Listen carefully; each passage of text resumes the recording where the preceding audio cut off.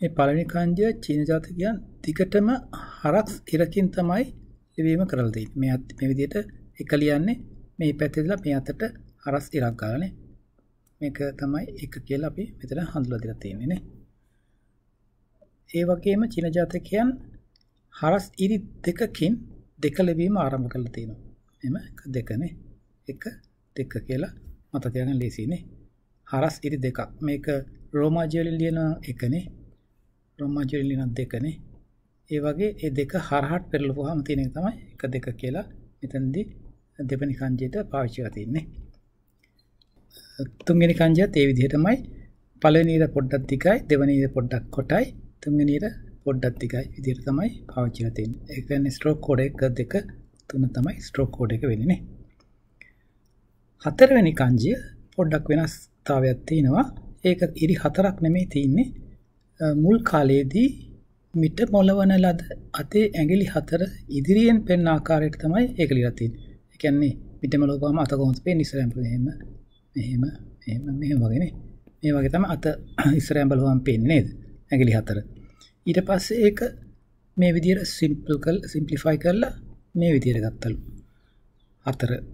දැන් කාලේ කොහොමද ලියන්නේ කියලා? දැන් කාලේ පළවෙනි ඉර මෙහෙම පල්ලහැට දෙවෙනි ඉර මෙහෙම ඇංගල් එකට තුන්වෙනි ඉර මෙහෙම පල්ලහැට හතරවෙනි එක මෙහෙම ඊට පස්සේ මේකනේ පහ. මේ විදිහට මත තියාගන්න. මේක හතර පටන් ගන්න තියෙන්නේ මේ විදිහට අත මිලිමීටර මොලලා තියෙන විදිහට ඊට පස්සේ මේ විදිහට ව්‍යාප්ත වෙලා අවසාන වශයෙන් මේ විදිහට ලියන්න පටන් ගන්න තියෙනවානේ. එතකොට ඒක මත තියාගන්න ලේසි ඒ විදිහට ඇඟිලි හතරේ මිට මොලවන් තියෙන විදිහ මතක් කරපුවාම පුළුවන් ලියන්නේ. ඊට පස්සේ පස්වෙනි කංජය චීන ජාතිකයන් මුල් කාලයේදී පහ සඳහාද හරස් ඉරි පහක් යොදාගත්තලු. ඒ කියන්නේ ඉරි පහක්. 1 2 3 4 5 ඔය වගේ.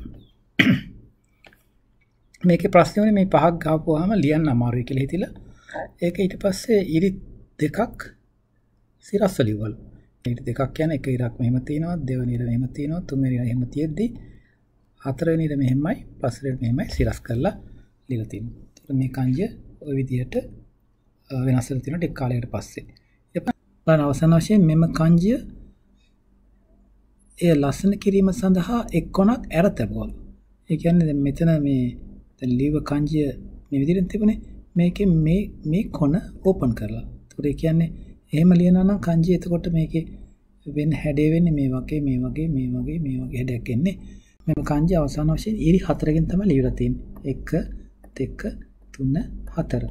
ඒ කියන්නේ පළවෙනි ඉර මෙහෙම හරහට දෙවෙනි උදේ නම් පල්ලහැට තුන්වෙනි ඉර මෙහෙම හරහට ගිහිල්ලා පල්ලහැට නැවිලා හතර එන ඉර මෙහෙම පල්ලහැවිලා තියෙනවා. ඒක තමයි පහේ කංජය ඉරි හතරකින් ලියන්න පුළුවන්. ඒක තමයි අවසාන වශයෙන් ව්‍යාප්ත වෙලා දැන් දැනට භාවිතා වෙන හැඩය. බොහොම ස්තුතියි.